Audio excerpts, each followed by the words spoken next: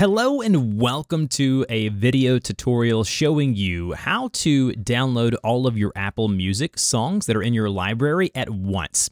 So it can be frustrating to have a bunch of songs that are not downloaded uh, and you can't listen to them offline. So I'm going to show you how to download all of them uh, basically in one click, but you do have to do a couple of back-end things first. So as you can see, I'm showing you my desktop and my mobile phone here, which is my iPhone, uh, because First things first, you need to open up the music app on your computer, uh, whether it be a Mac or Windows PC, it doesn't matter. Open up the uh, Apple Music app here. And then the first thing you want to do is click on the music option there and go to settings. And then under settings, you'll see general. What you want to do is make sure that the sync library option is checked. So you need to make sure that your Apple Music account, which is this email address here, is the one that you see here, and this needs to be checked where it says Library Sync Library. That's the first step.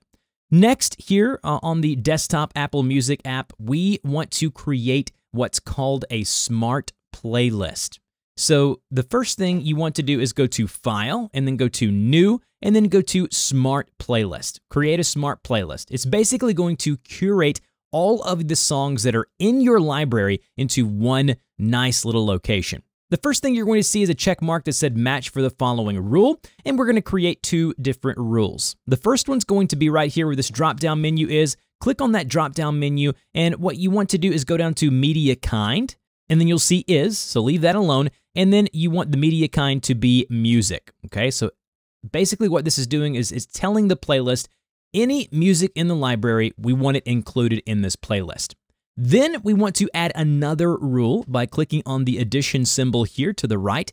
And we want to click the drop down menu once more and we want to select cloud status. And then you want to change is over to is not. And you want to leave this to matched. You don't want to select the limit because that's going to limit it to just 25 items in the playlist and it'll randomly select them. And you want all of your songs in the smart playlist. So go ahead and leave that unchecked. And then you obviously want live updating checked. That way, when you add a new song to your library, it gets added over here to the to download playlist, and you can go and just tap once and download all of the new songs that you've added recently.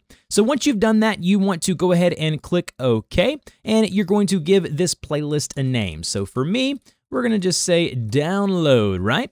And then what you do is hit enter once you've named the playlist, and you should now see all of the songs right here that are basically in your library that are not downloaded to your device. So obviously we're on the desktop now, but if we hop over to my iPhone, I am going to now see uh, the playlist here. Uh, it's called To Download over here uh, because I have a, a separate one that I did before the video, and we're going to see all of these songs here.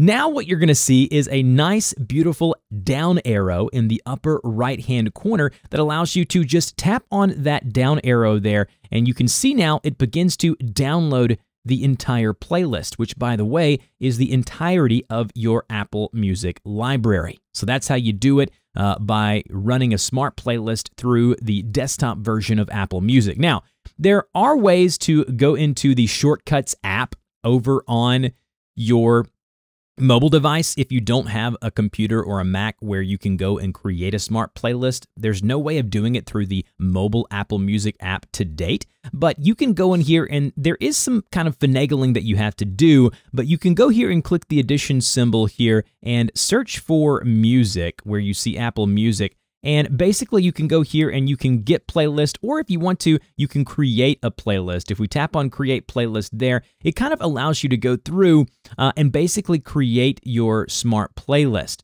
So if we wanted to, we could go here and then we could go to find music, and then we would just add a filter. Uh, so basically, we would add the filter of, you know, say you want that to be media kind and you want the media kind to be music. So you're basically adding the exact same thing that we did through the desktop version of Apple Music. So you would just go through here, add another filter uh, where you would go here and you would say, uh, down through here uh, is not a cloud item.